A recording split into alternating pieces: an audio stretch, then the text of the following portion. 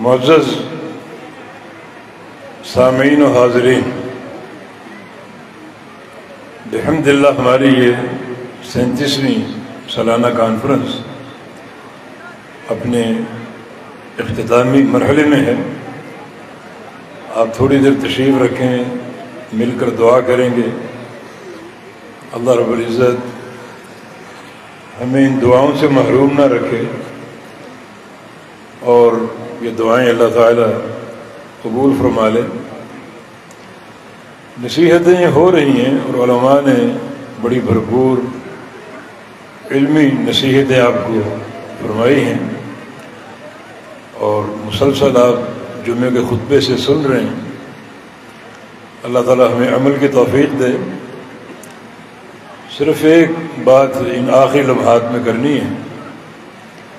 اور وہ یہ ہے کہ اس دور کا جو سب سے بڑا فتنہ ہے، وہ ان لوگوں کی طرف سے آتا ہے، یا وارد ہوتا ہے، یا صادر ہوتا ہے، جو اپنے آپ کو داڑھی کے روپ میں پیش کرتے ہیں، دعوت دینے والا، دین کی دعوت۔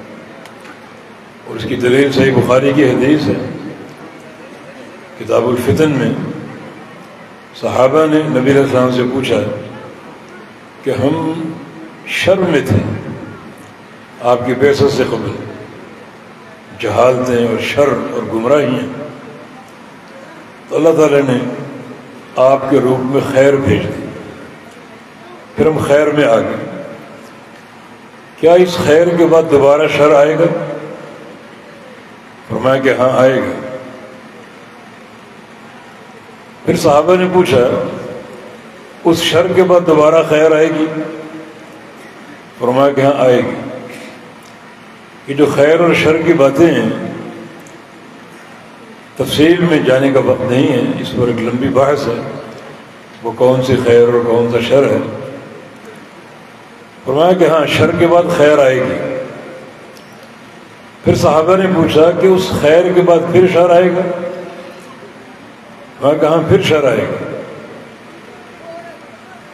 اور یہ شر آخر میں آپ نے ذکر کیا اور ساتھ ساتھ یہ فرمایا، وہ شر کیا ہوگا؟ دعات علی ابواب جہنم۔ من اطاعہم قذفوہ فی النار۔ وہ شر دعات کی طرف سے ہوگا۔ اپنے آپ کو دائی کہنے والے اور دائی کے روپ میں پیش کرنے والے ان کی طرف سے ہوگا۔ اور اتنا خطرناک ان کا شر ہوگا کہ سمجھو کہ وہ جہنم کے دروازوں پر کھڑے ہو کر دعوت دے رہے ہیں۔ اور جو ان کی بات قبول کر لے گا، اسے وہیں سے اٹھا کر جہنم میں پھینک دیں اتنا خطرناک شر ہے۔ تو جو آخری شر ہے جو قیامت سے قبل، وہ دعات کی طرف سے ہوگا۔ اپنے آپ کو دائی کہنے والے، اپنے آپ کو دعوت دینے والے اور شمار کرنے والے ان کی طرف سے ہوگا اور جو ان کی پیروی کرے گا، اسے وہ اسی وقت اٹھا کر جہنم میں پھینک دیں گے آپ اندازہ کریں کہ یہ شر کتنا خطرناک ہے۔ اب نصیحت میں اپنے آپ کو، اور آپ سب کو یہ کروں گا کہ ہر داڑھی ایسا نہیں ہے کہ اس کو سنا جائے اور اس کی پیروی کی جائے۔ آج سوشل میڈیا جہاں تھوڑے بہت فائدے بھی پہنچا رہا ہے، مگر زیادہ نقصان پہنچا رہا ہے۔ اور ہم نے دیکھا نوجوانوں کو، اپنی مرضی سے وہ کسی داڑھی کا انتخاب کرتے ہیں اور چند دنوں بعد اس کی لپیٹ میں آ جاتے ہیں اور گمراہ ہو جاتے ہیں۔ سب سے پہلے آپ داڑھی کے تعلق سے وہ شرط دیکھیں، جس کا حافظ ابن صلاح نے ذکر کیا الاستفاضہ شہرت۔ کس چیز کی شہرت؟ استفاضہ فی طلب کہ اس نے کہاں سے پڑھا ہے؟ طلب علم اس کا کہاں سے ہوا؟ ہے کس ادارے سے کن علماء کے ہاتھوں۔ کیا اس کی سند ہے؟ اور چونکہ ہمارا دین صنعت کے ساتھ ہے، جو ہمارے دعات ہوتے ہیں، ان کی صنعت نبی اسلام تک متصل اس سیٹ پر بیٹھ کر میں آپ کو پوری صنعت اپنی نبی اسلام تک بتا سکتا ہوں۔ وہ دعات ہیں جو معروف ہے جن کا طلب معروف ہے۔ استفادہ۔ ان کا منج اور عقیدہ معروف ہے۔ میں یہ بات کسی خوف تردید یا تنقید کے بغیر عرض کروں گا وہ دعات اہل الحدیث جن کا عقیدہ معلوم ہے، جن کا منج معلوم ہے۔ اللہ تعالیٰ کا فضل ہے۔ آپ کے بزرگوں نے، آپ کے اسلاف نے انہی دعات کو سنا، ان سے علم لیا۔ ان کا عقیدہ، ان کا عمل خالص تھا۔ اگر آج سے دس، بیس سال پہلے جائیں تو یہ خرابیاں نہیں تھیں جو آج دیکھنے میں آ رہے ہیں اس لیے کہ وہ دعات حق سے منسلک تھے، سچے اہل حدیث دائیں بائیں نہیں دیکھتے تھے۔ ہم نے دائیں بائیں جھانکنا شروع کر دیا اور ان کو سننا شروع کر دیا۔ ان کے رو میں بہ گئے۔ نبی علیہ السلام کی ایک حدیث کو ذہن میں رکھیں۔ ان من البیان السحرا کچھ بیان جادو ہوتے ہیں۔ اور ہم اسی قسم کے بیانوں کے رو میں بہ جاتے ہیں۔ کوئی مغرب یورپ سے کوئی آ جائے، دو چار انگریزی کے جملے بول دے۔ ہم ہم میں اتنا احساس کمتری ہے۔ کہ اس کا عقیدہ دیکھے بغیر، اس کا منج دیکھے بغیر، اس کو قبول کر لیں جب انگریزی بول رہے انگریزی بھی کوئی زبان ہے جس سے متاثر ہو یہ تو ایک زمانہ اس زبان کے پیچھے ہلکا ہو رہا ہے۔ ہمارے دین اسلام میں کوئی اس کی اہمیت نہیں۔ نبی اسلام کے دور میں سریانی زبان تھی، جس کا دوتی بولتا تھا۔ تو کیا صحابہ سریانی سیکھتے تھے؟ آپ نے صرف زید ابن ثابت سے کہا کہ تعلم سریانی ہے۔ تم سریانی زبان سیکھو، بعض اوقات وفد آتا ہے، وہ سریانی بولتا ہے۔ ایسا نہ ہو کہ وہ ہماری موجودگی میں کوئی ایسی باتیں کرے جو ہمارے دین کے خلاف سازش ہو، تو تم سریانی سیکھ کر موجود ہونے چاہیے تاکہ اس قسم کی سازش بے نقاب ہو۔ اور زید بن ثابت فرماتے ہیں کہ میں نے کوئی لمبا عرصہ نہیں لگایا اس کو سیکھنے میں، یہ پندرہ بیس دنوں میں سیکھ لی، پوری سریانی زبان۔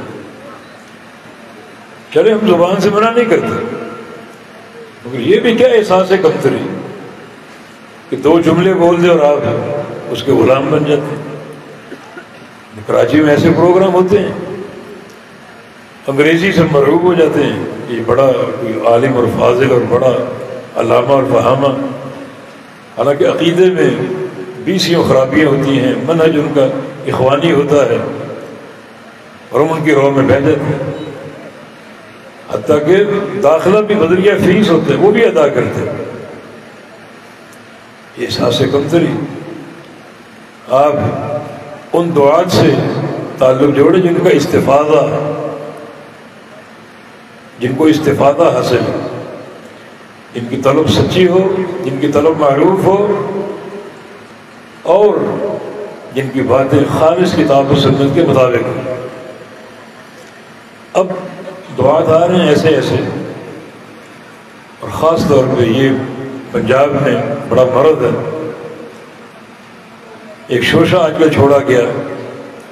غیر عقیدہ بدرتی کے پیچھے نماز ہو جاتی۔ ہے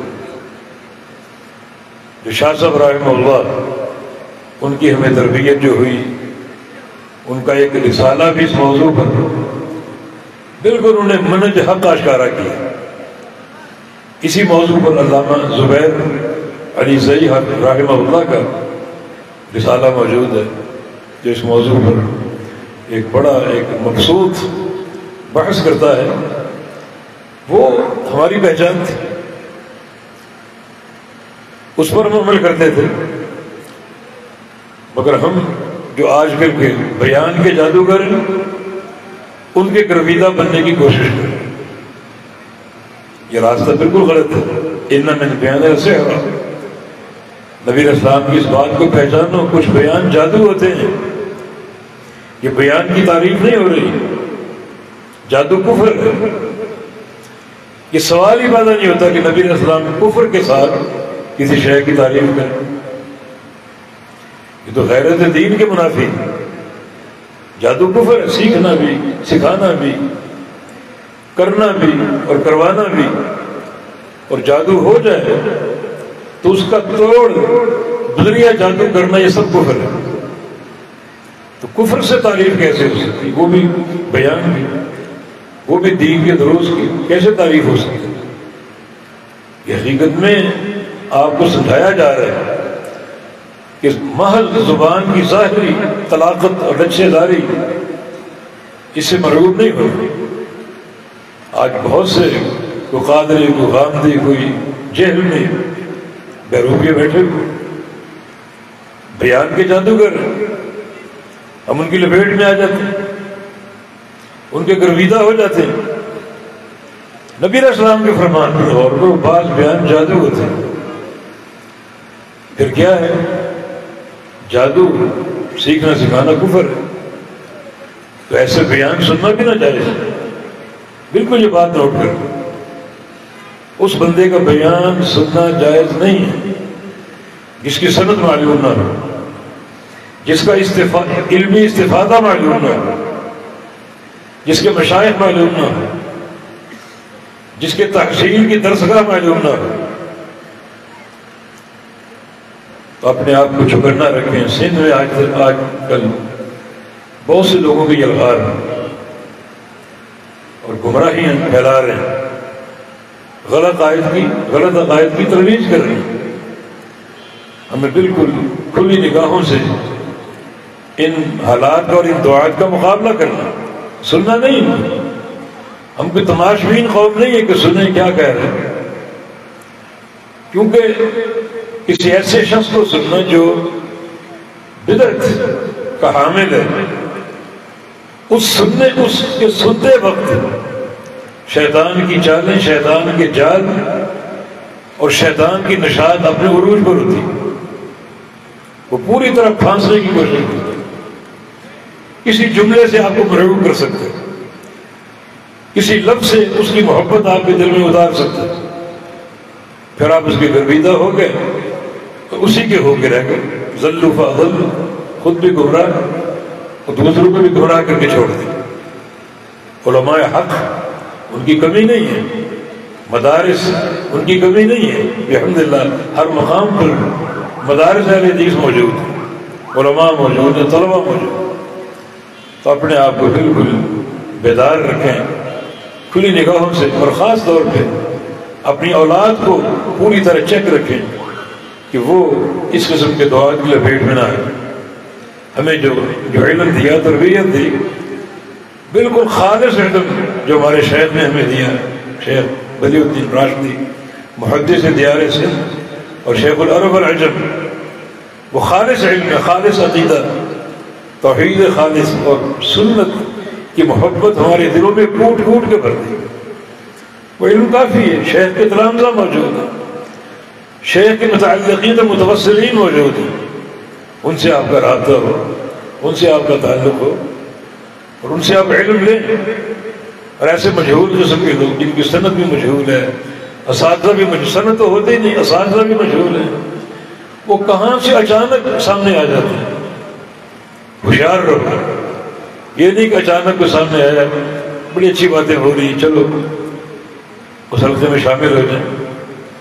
یہ گمراہی کا راستہ ہے، اس سے بچ کر رہیں۔ نبی اسلام کا فرمان ہمارے سامنے ہے کہ قیامت سے قبل جو بڑا فتنہ اور شر آئے گا، بدریہ دعات آئے گا۔ تو ہمیں خالص جو سلفی عالم حدیث دعات موجود ہے، ان کا علم ہے، ان کی معرفت ہے۔ مدارس کو بھی جانتے ہیں، علماء کو بھی جانتے ہیں، ان کے شاگردوں کو بھی جانتے ہیں۔ انہیں سے ہمارا تعلق ہو، کوئی شخص مجہول آ جائے، جس کا نہ استفادہ معلوم ہے، نہ ان کی کوئی علمی شہرت معلوم ہے، نہ ان کی سند ہمارے سامنے موجود ہے۔ اور ہم ان مشہور لوگوں سے تعلق جوڑ لیتے ہیں۔ صرف بیان کے جادو کی بنا پر اس سے گریز کریں۔ اللہ تعالیٰ ہمارے ایمان کی حفاظت فرمائے، ہمارے عقائد کی حفاظت فرمائے اور اللہ رب العزت ہمیں آد الحدیث بن کر رہنے اور جینے کی توفیق دے۔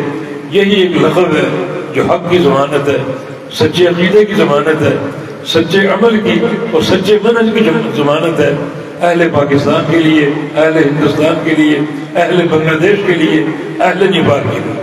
ہر مقام پر امت کے حق لوگوں نے القاب اختیار کیے، سعودی عرب وغیرہ میں، کویت میں۔ یہ لوگ سلفی کہلاتے ہیں۔ سلفی عہد الحدیث ایک ہے مصر چلے جائیں، سوڈان چلے جائیں، ان کا لقب انصار السنہ بالکل وہی چیز وہی عقیدہ اور وہی منج اور ادھر علاقے آ جائیں یہ ملیشیا وغیرہ، انڈونیشیا وغیرہ، یہاں یہ لوگ محمدی کے لقب سے ایک ہی عقیدہ اور ایک ہی منج تو جو عقیدہ اہل حق کا، جو نام اور لقب اہل حق کا کسی مقام پر مشہور ہو جائے، معروف ہو جائے اور لوگ پہچان لیں کہ یہ محمدی کون ہے، کیا ان کا عقیدہ تو وہ لقب وہاں اختیار کرنا ضروری ہے۔ ہمارے عہد الحدیث لوگ جانتے ہیں عہد الحدیث کیا ہیں۔ کیا ان کا مشرف ہے؟ کیا ان کا عمل ہے؟ کیا ان کا عقیدہ یہ ایک ہی لقب پورے منہج کے اظہار کے لیے کافی ہے، تعارف کے لیے کافی ہے۔ تو اللہ تعالیٰ عہد الحدیث بن کر جینے اور رہنے کی توفیق دے۔ موت بھی اسی پر آئے، کیونکہ یہ حقانیت کا معیار ہے۔ نبی اسلام کے انتقال کے بعد بیس اکیس بائیس ہجری میں کئی علاقے فتح ہوئے۔ اور وہاں مسلم یعنی ان الحدیث کا نام اختیار کیا۔ اس کے لیے شاہ صاحب کا رسالہ، جس میں آپ نے ہر دور، ہر صدی، ہر مقام پر عہد الحدیث کے وجود کو ثابت کیا۔ ہر مقام۔ سندھ میں پہلے کون آیا؟ محمد بن قاسم سندھ کو فتح کیا۔ اس وقت نہ امام حنیفہ تھے، نہ امام شافی تھے، نہ امام مالک تھے، نہ احمد بن حنبل تھے۔ کیا تھا اس وقت؟